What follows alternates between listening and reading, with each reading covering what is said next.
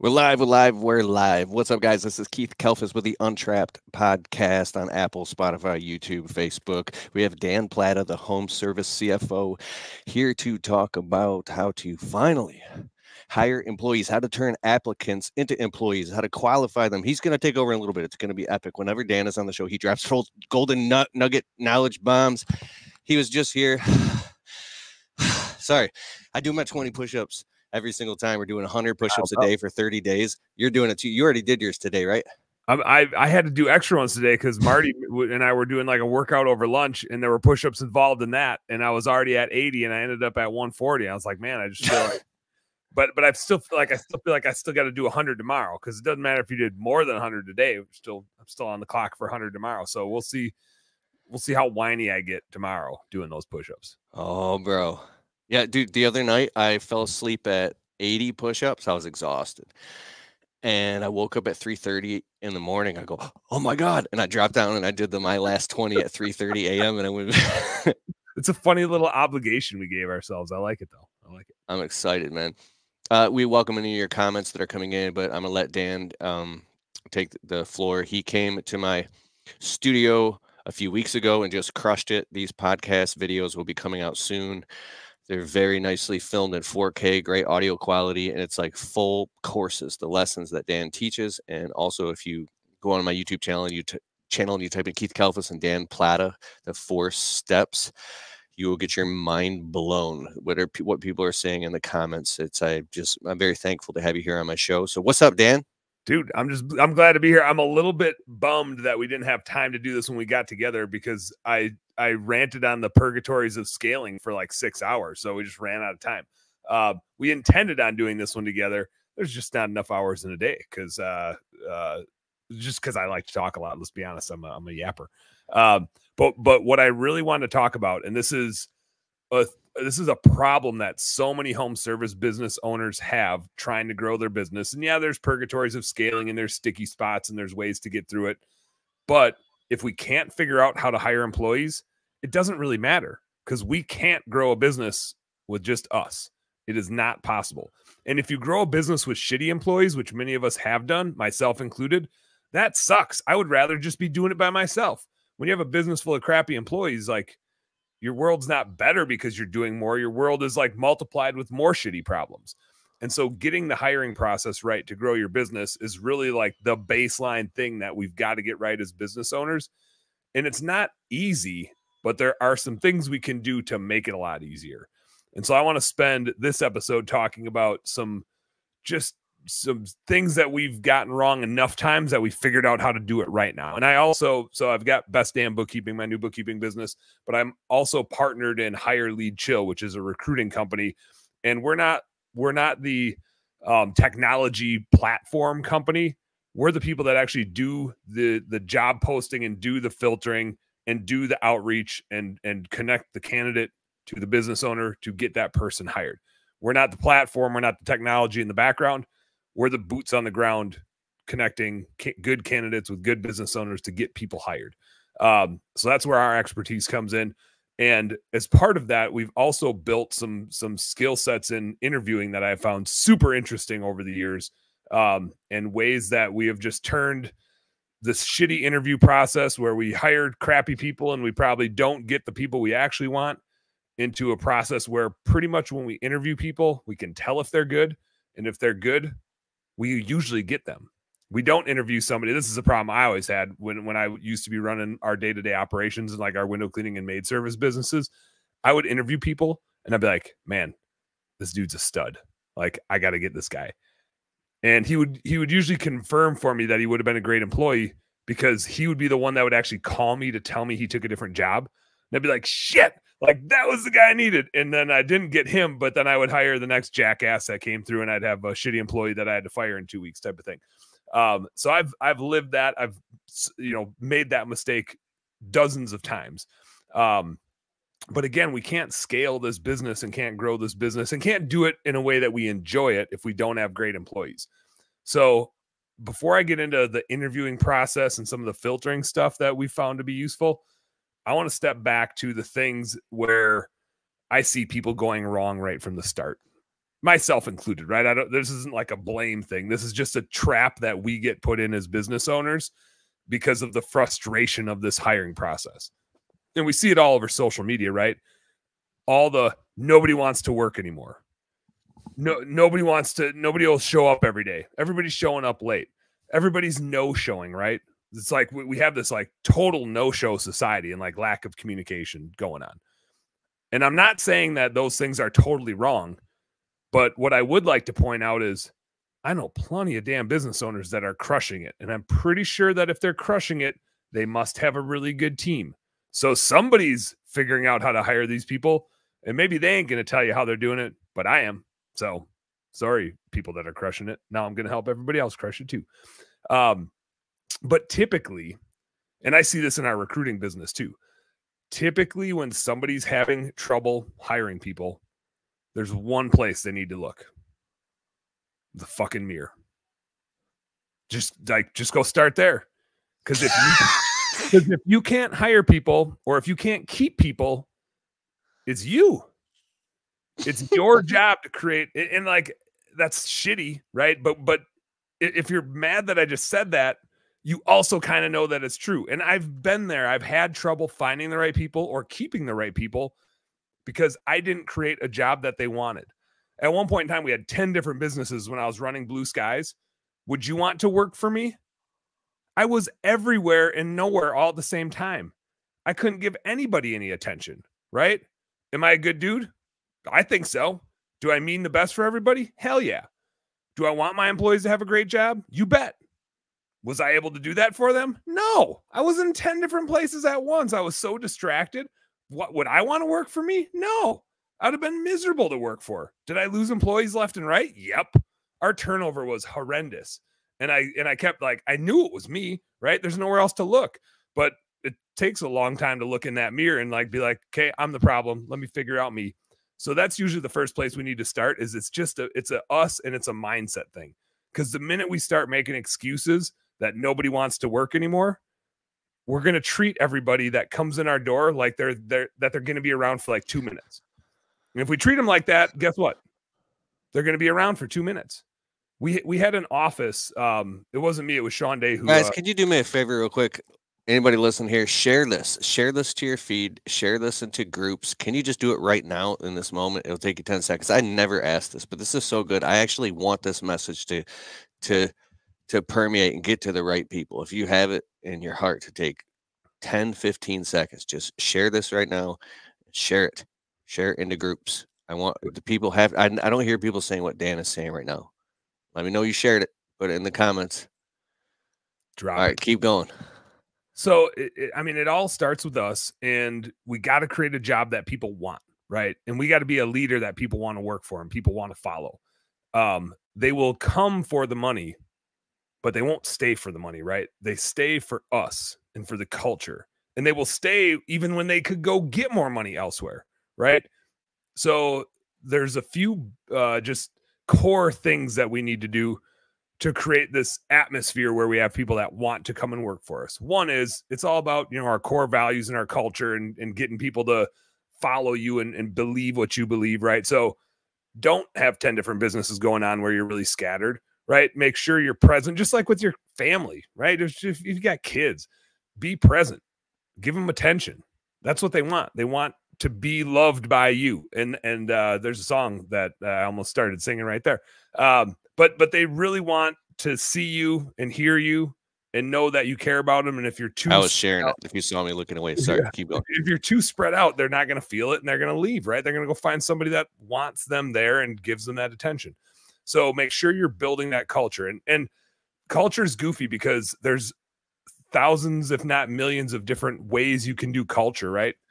It's it's like what are the best traits you see in yourself and how do you find other people that believe those beliefs? You're not perfect, right? But what are the things that are most core to you that you're like, man, like this is the best part of me? And how keep you, going, bro? I'm getting my note, my notepad. Keep going. Get it, get it. So, like, how do you go find that in other people, right? So, so right from the get go, I always think it's really important. It starts when you're writing the job ad. And I say job ad because it is not a job description. Nobody wants to come work for your job description. They don't care about uh, this is a Simon Sinek quote. They don't care about what they're going to do. They care about why they're going to do it. Right? They don't care about how they're going to do it. They care about why they're going to do it. So when you're writing your job ad, and it's an ad because it's marketing, you're marketing to applicants and candidates. Recruiting is no different than marketing. The the customer is a little bit different, right? But but it's just another human. It's no different than your homeowner that you're trying to sell landscaping or window cleaning to this is just a person you're trying to sell a job to.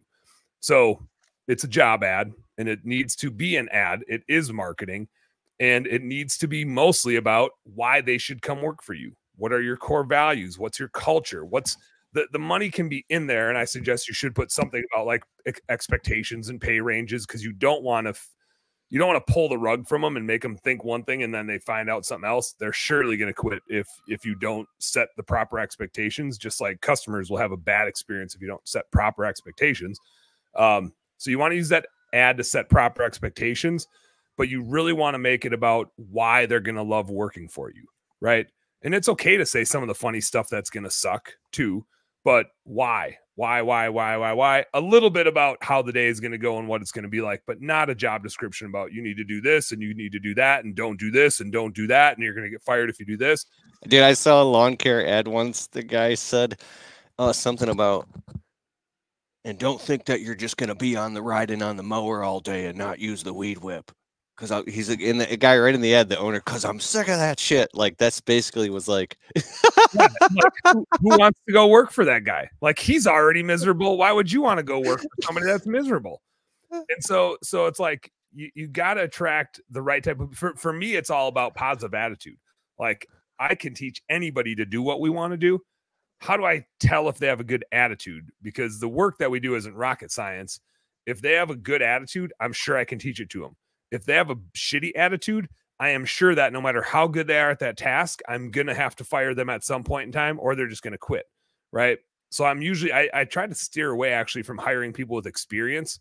They tend to come in with some sort of ego and overconfidence about what it is that they're going to be doing. I really look and try to weed out people that have a great attitude. Again, I can teach people to do what we do, but I've, I have tried to teach people to change their attitude and I've put up with shitheads for way too long doing that and lost a lot of money doing it because as hard as they would try, a negative person just tends to be a negative person and I'm not a therapist and so I spent a lot of my you know nights awake and and my money trying to like help people that it wasn't my job to help. Um so anyway, I digress. That job ad, it's got to be an ad, right? The goal is to get as many clicks as possible.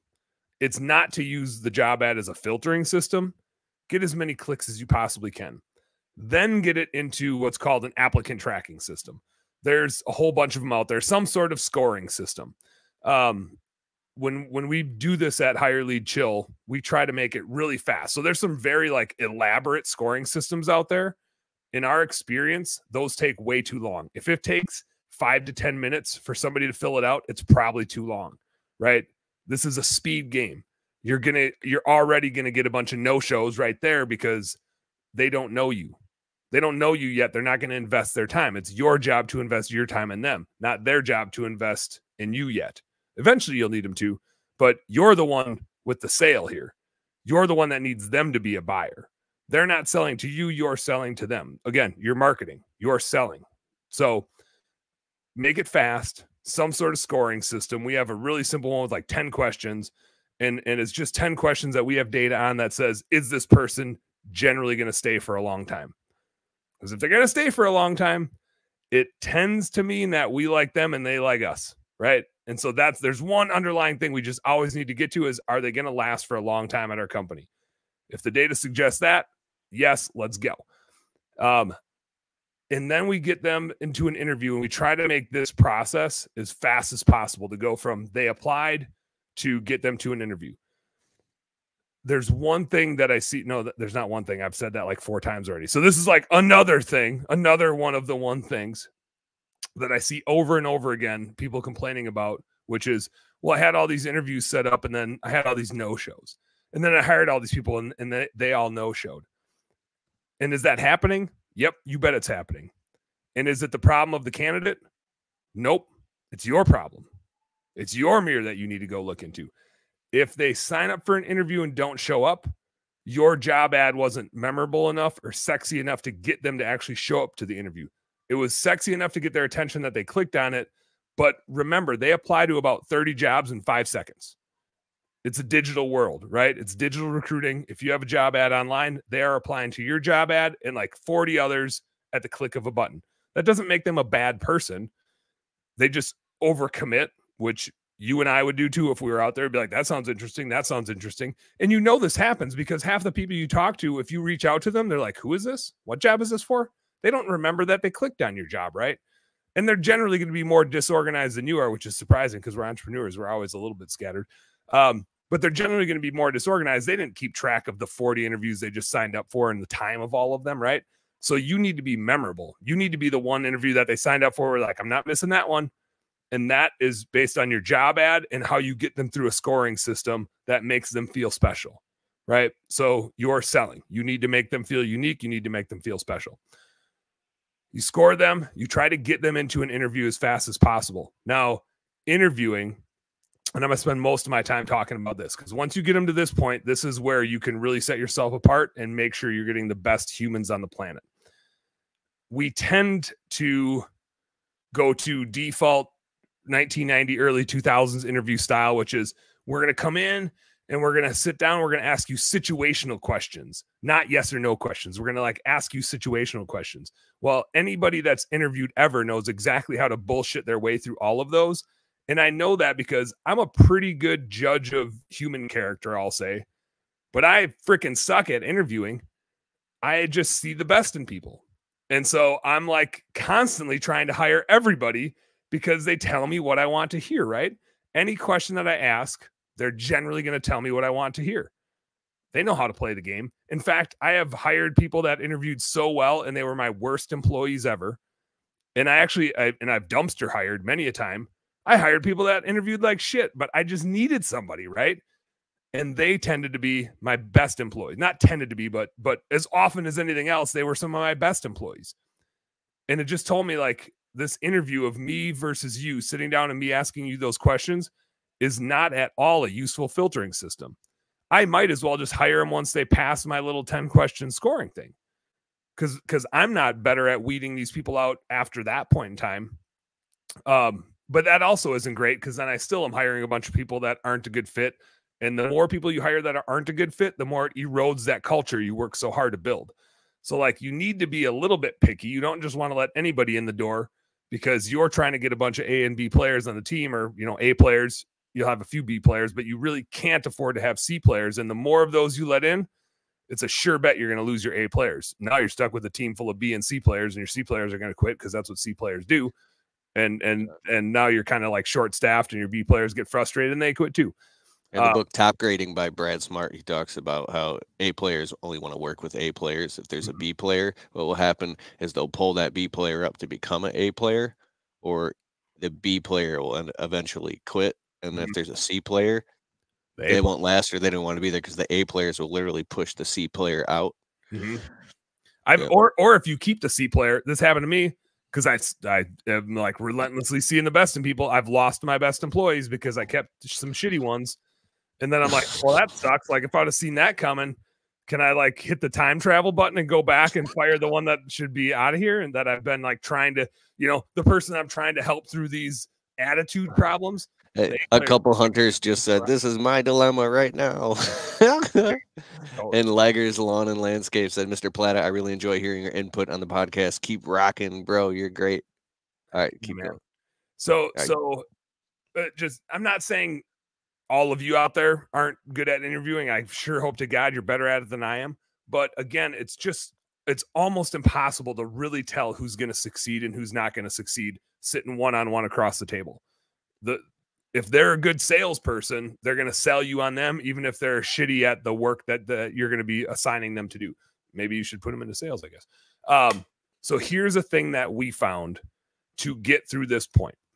So again, goal is get as many applicants in the door, get as many clicks as you can, have a fun job ad, have something that's interesting about why people would want to come work for you, get all those clicks, then have a filtering system that lets people get into your, you know, world, right? and see a little bit under the hood, but it's fast.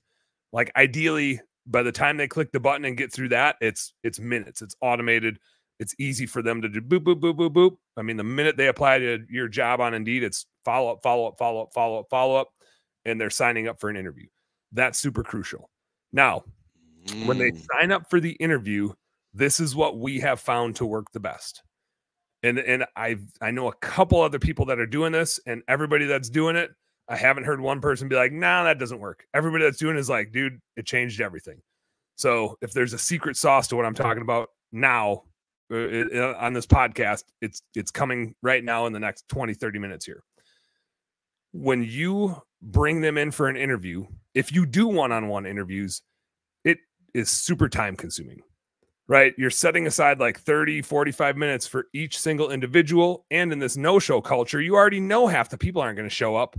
So now you're setting aside time where you might be out doing sales calls, but instead you're sitting in the office or you're paying somebody else to sit in the office for a person that's has a 50% or less chance of showing up. Like the no show rate is real even even if you're doing everything right, you're still going to have plenty of no shows, right? You can improve that by doing things right, but you're still going to have a lot of no shows because they are clicking on 30 job ad job ads at once. And the no shows don't go away because even when they do, you know, they they accept 20 interviews and they maybe go to five of them. Well, then they accept three of those jobs, right? They can only go to one of them, so they're going to keep no showing. You just want to make sure you're the one that they don't no show to, right? At the end of the day. So instead of trying to set up all these one-on-one on one interviews which a you're probably not good at and b take a shit ton of your time and c are really frustrating because you get so many no shows and you you could have been home with your kids or out doing a sales call or if you were me you'd be out bow hunting and drinking a Busch Light or something not at the same time but at different times um, but but you could do anything else right instead you're like sitting around waiting for this human that has a 50% chance of showing up so what we started doing is we would set two interview time slots a week.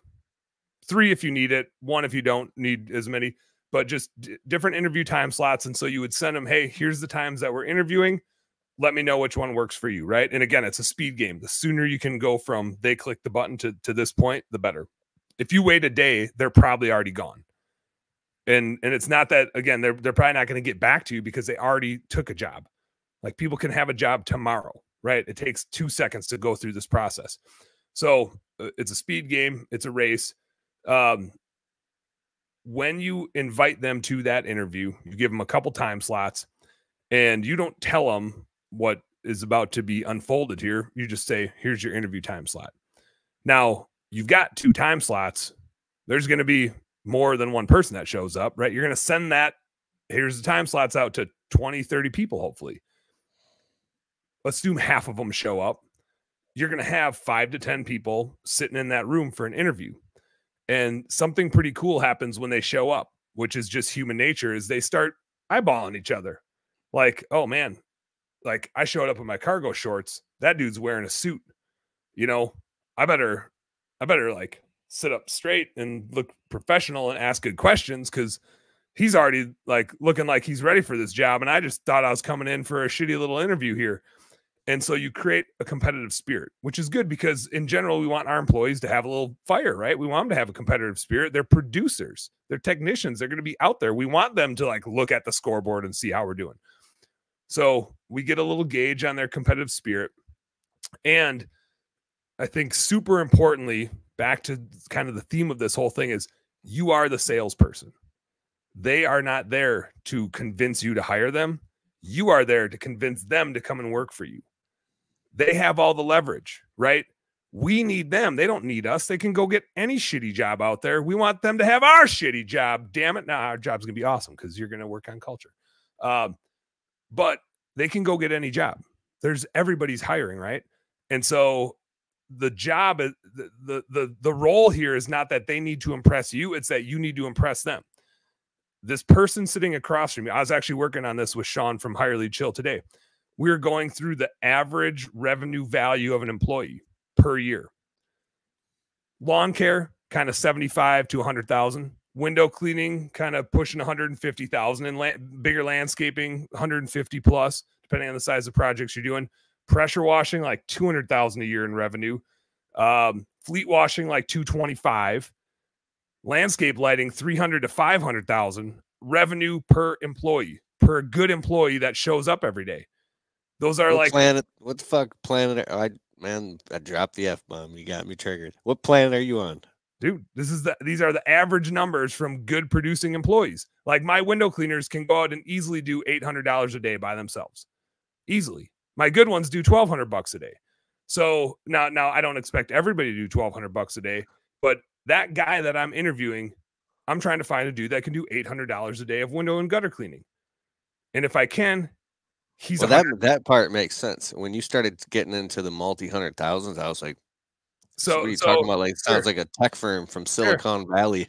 if this if this dude's doing 800 bucks a day in production and there's 250 work days in a year that's $200000 of revenue i even rounded down from that I have to 800 say bucks a day 800 bucks a day 250 days is 200000 bucks of revenue that's my window cleaner and gutter cleaner dude Two guys or one guy? one guy one guy can do 800 bucks in a day if you Times if you how have- many days?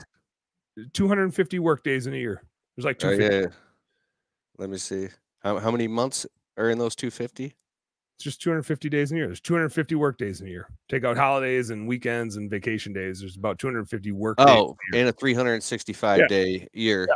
Because are they going out in the freezing cold in the middle It- of the it's, winter? it's, ge- it- it's geographically dependent, right? So if you're you're if you're in our geography, that's why I said 150, right? I didn't put 200. If you're in Florida or Texas, you can go out all year, right?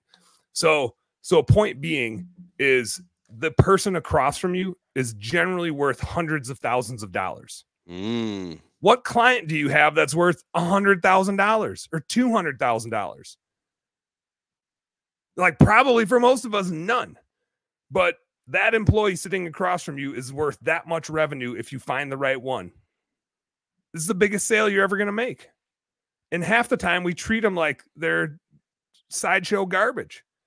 We should be like freaking scrubbing their feet, man. They're so valuable. They're worth hundreds of thousands of dollars.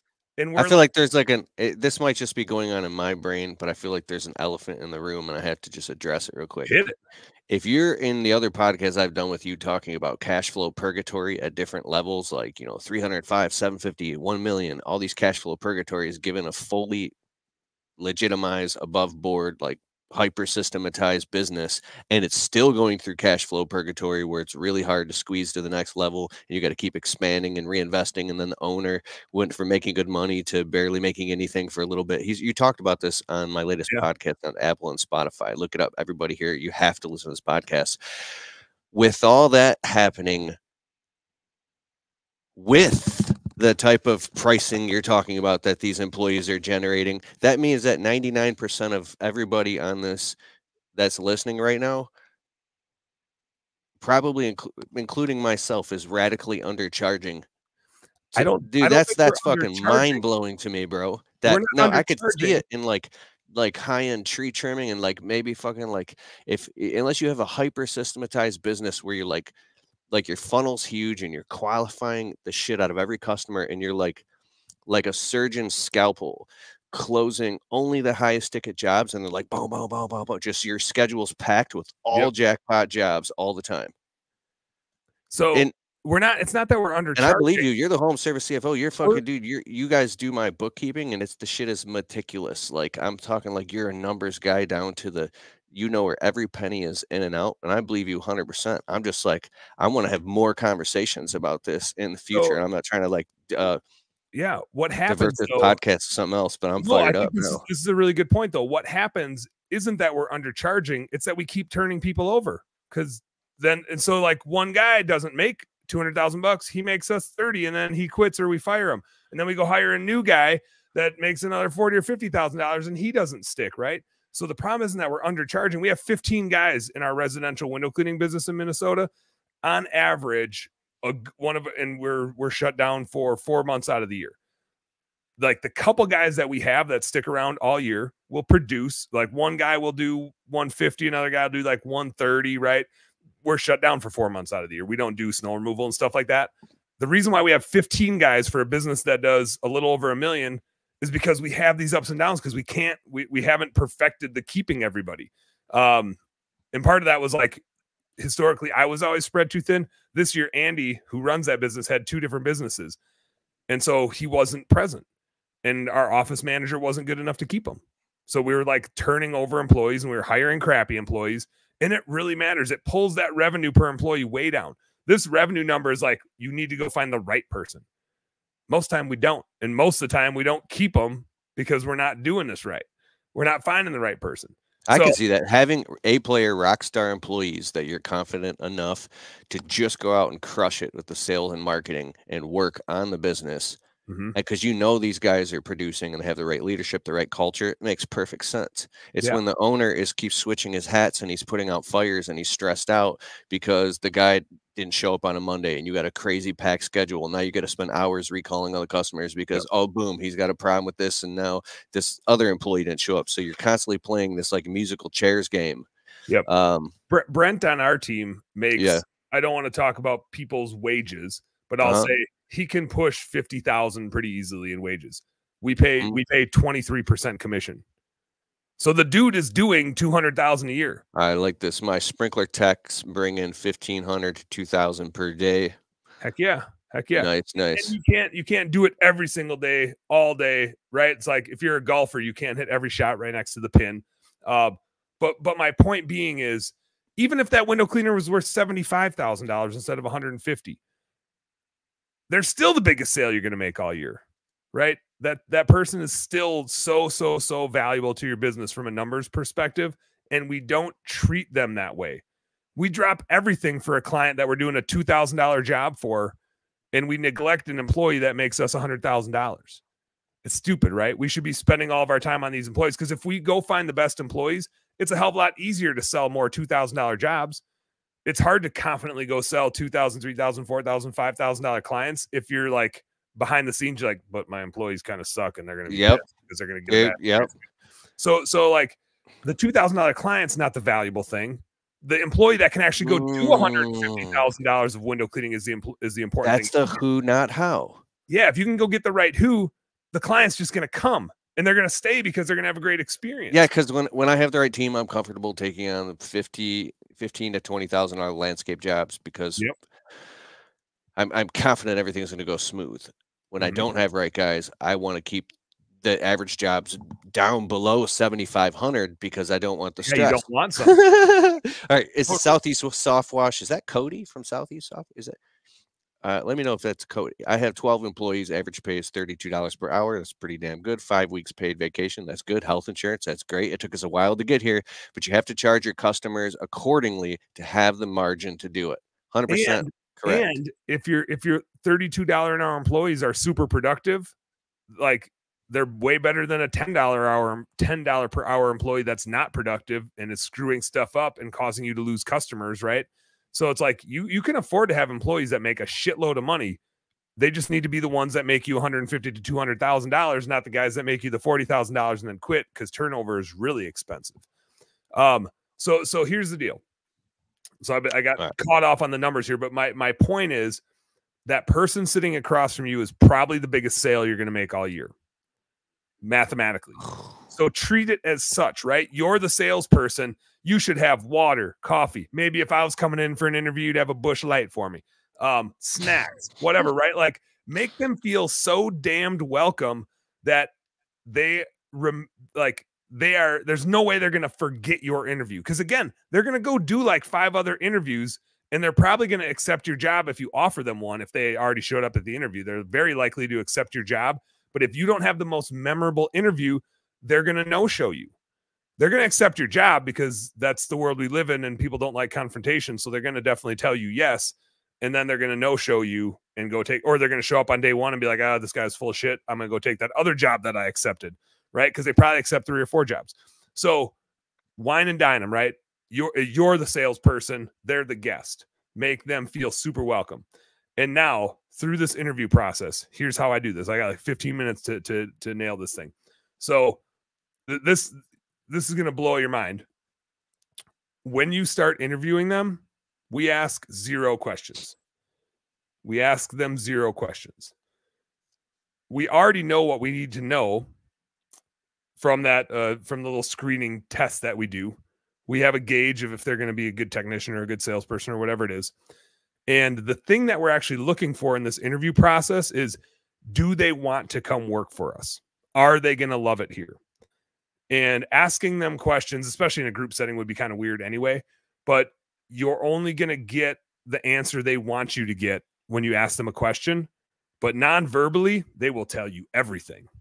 So, so I some other people that do this, I know they actually put a plant in the room to watch everybody through the interview process, through the through the sales process, to watch the non-verbals of people. If they're sitting back, arms crossed, leaned way back, not asking any questions, they're not going to love working for you, right? Like they're just they're just not interested.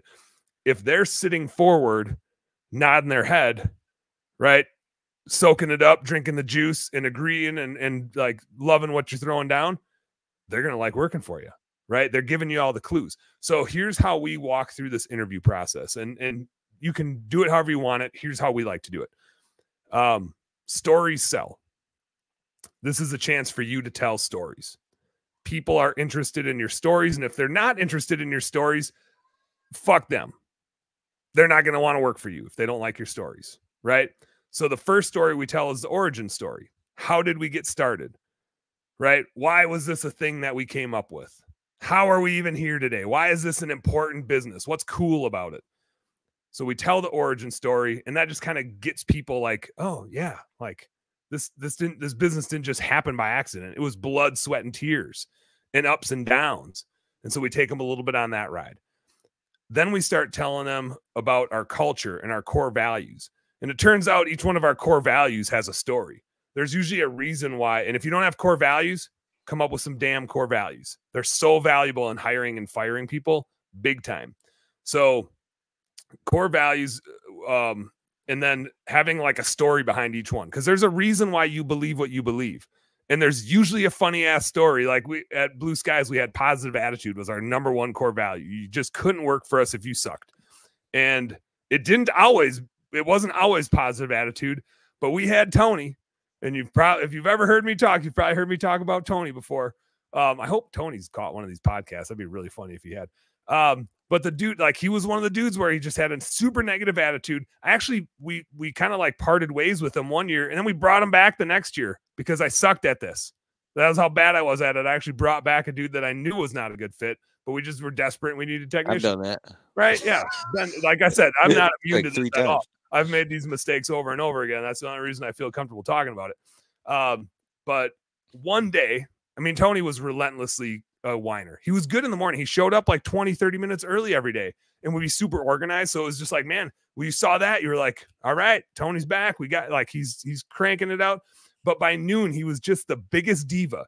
Every little thing that went wrong, which like we're driving out to people's houses to do jobs on unpredictable properties nothing is going to go perfect, right? Uh, but everything that went wrong a little bit, it was like he was like he put this put it in this chest of emotion and then at some point he would just snap and it damn near happened every day. He would just lose his mind about the smallest thing. He like couldn't get over tiny little things. It was a psychological issue that he had is, is like maybe like a bipolar thing or something that we we couldn't figure out what to do with. But literally one day his his route had him going like across town. And I'm like, Tony, you like you chose this job. You know we don't get to choose where our clients live. Somebody's got to take that route. Today it was you. Yep, you had the shitty route today. We all know it, especially now that you just complained about it for like 4 hours. We're we're all well aware that you had the shitty route today. Brent when he built the schedule, he was also aware of that. So tomorrow your jobs are literally across the freaking street from one another. So you you literally can don't even have to park a second time right? Across the damn street. The next day, can't make this up. Tony finishes his first job. The minute he's about to start his second job, he's like, God damn it, I don't even have time in between these jobs to take a smoke break. That guy's standing on his porch looking over here like I'm doing something wrong because I'm not starting. Like he just went off about his job being right across the street. And I was like, I just don't like, how do you, what do you, what do you even do? Like you're gonna complain no matter what the hell the schedule is right? So so that's our positive attitude story. And I would tell that story in an interview because that's a funny ass story. And so I'd say like, hey, if you're like Tony and you can't handle things going wrong, you just don't you ain't gonna love it here. And the whole point of telling these stories is I want to find people that are to love it here, that can bounce back and, and think the fun part of that is telling the story about it later, right? We've had naked people in houses. We've had masturbation stories. We've had naked old lady stories. We've had every kind of like we're going into people's houses cleaning shit.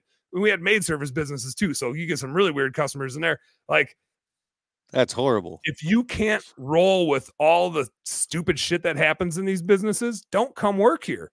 Like stupid stuff's going to happen. It's usually the funny stuff we all tell stories about later. It's uh, it's called type 2 fun. Um, but if if it's going to ruin your day when something goes wrong, just don't come work here. Because if you can't have a positive attitude about, oh, you got to Mrs. Jones's house and then then her kid was sick, so she told you to not do the job right. If that's going to absolutely ruin your day, that now you got to wait for a little bit before you go to your next job. Don't come work here because that's going to happen like by next week. It's just going to happen. It's the world we live in. So, anyway, so we would go through each of the core values. We would tell stories about the core values. And again, when you're telling stories, people that are engaged in the story are like nodding their head. They're they're agreeing with you, right? They're soaking it up. And if they're not, they don't want to come work for you. They are not interested in your business or your business model or your culture, or whatever you have. And so as you go through the interview, that's really what you're looking for. We talk about pay structure. We talk about what a good day looks like. We talk about what a bad day looks like and some of the funny stories. And, and just like, hey, if you can't roll with these things, like you ain't gonna love it here, right? And we just and we just keep trying to filter that out. We only want it. We only want you to apply for or to to accept this job if you're absolutely gonna love it. If you don't, don't don't try to work here right? You're not to, if you're not to absolutely love working here and jump out of bed to come to this job, I do not want you to accept this job because you're to be miserable. And if you are miserable, I'm to be miserable. And that's a pretty shitty relationship. So let's not go down that path. We get into pay structure a little bit. So we pay commission style pay.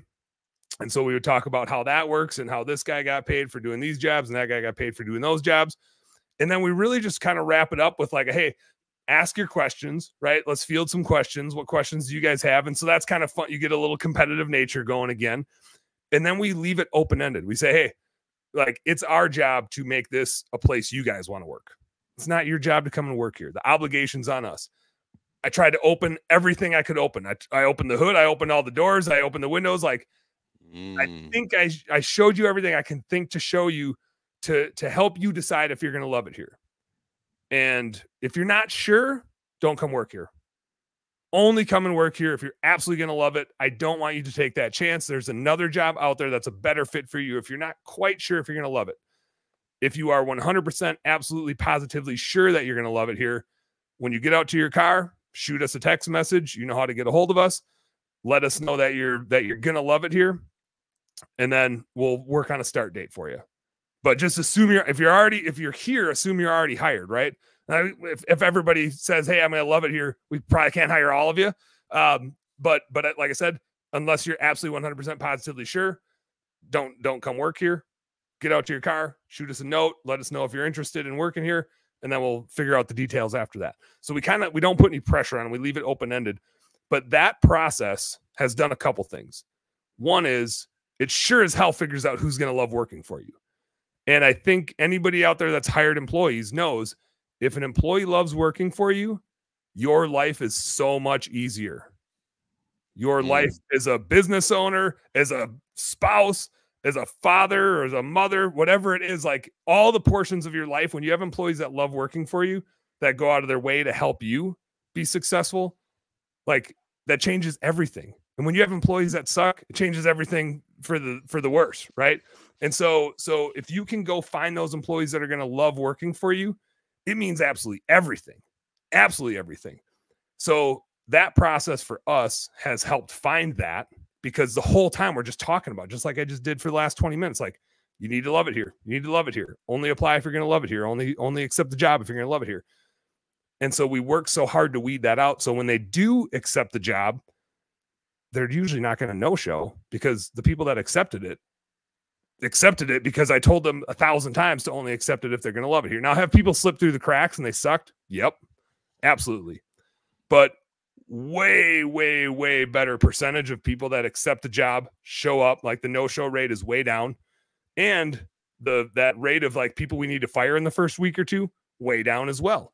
because the only people that actually came. Now we have had people say, "Hey, I'm in," and we've had to say, "We actually don't think you're going to love it here." Like throughout that throughout the process, we didn't think it was a great fit. We're going to pass for now. Not to say you're never going to work here, but we have too many other people that are interested and we can't bring everybody on board. And we didn't get the sense from you that you're totally going to love it, right? We've, we've had to say that before. What I think is really interesting, back to the when I when I did uh one-on-one interviews, there were people that I really wanted, and they would choose a different job because I couldn't convey or maybe I conveyed what the reality was, which was I was super scattered and I couldn't give them enough time and they didn't want to come work for me. And like I said, I could tell they were good because they'd be the respectful people that would call to tell me they took a different job. And I was like, dang it, I knew they were going to be good. But when we do it this way in the group interview style and tell stories and we sell to them instead of having expectations of what they're going to do for us, the ones that we really want, we get like every time. There's nobody that walks out of that room where we're like, we want that one and they don't come work for us. So if you can do that, if you can find people that are really going to love working for you and the ones you want, you get. And again, like part of it is just if I only have to do two hours of interviews a week instead of line up five to 10 hours of interviews to then have a bunch of people no show, like it saves me a whole lot of time to do the group interview thing. So it's time savings, it's quality, it's speed, it's just, it's all around like if you could do one thing and take one thing away from this do the group interview exactly uh, tweak it how you want to tweak it right? It's your thing you got to make it about your culture and your style. But damn if if we had been doing that when we had all these maid service businesses and so forth it would have changed everything. It would have changed everything. I'm, I'm glad we didn't because i'm glad now i just get to focus on bookkeeping stuff and recruiting stuff. Uh, but man it's uh it's been night and day for us and and makes like i said i mean for for selfishly makes the business a whole lot more fun to run too. Hey dan before we wrap up here can you go back for the people that joined uh late just summarize the key points like we talked about this this this this this and this and how like you know because you're basically saying the small the small hinges that swing big doors it's just yeah. So so it- step one when you're posting a job ad digitally know that it's an ad.